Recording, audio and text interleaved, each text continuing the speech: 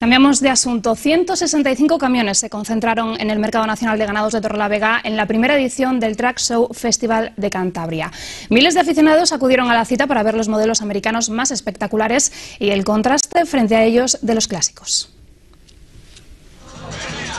Espectaculares máquinas y extraordinarios diseños, camiones decorados y tuneados, sorprendentes modelos americanos que en su interior son verdaderas viviendas rodantes. Miles de aficionados no quisieron perderse la oportunidad que les ofrecía el Track Show Festival de Cantabria, que lo tuvo todo a su favor, hasta el buen tiempo. Ha sido todo, aparte de, los camiones y de la gente que todo ha venido, el tiempo nos ha, ayudado, nos apoya mucho también.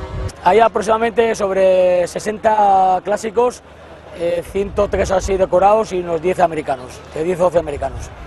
Frente a las espectaculares máquinas de hoy, sorprende que algunas de estas joyas puedan ser utilizadas para el trabajo diario las herramientas del pasado, como este GMC del año 60, que fue rey de las pistas forestales, o este camión autobomba de 1912, el tercero o cuarto de los más antiguos que se conservan en el mundo.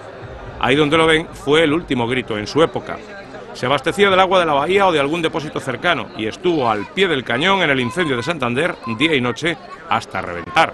En el incendio del año 41 en Santander estuvo destinada en la calle Larrabal.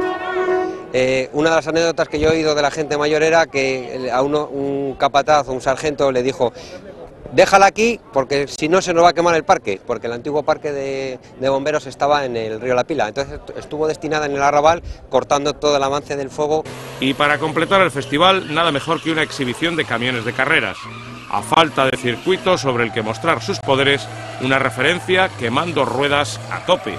El éxito del Track Show Festival asegura que tendrá continuidad en los próximos años.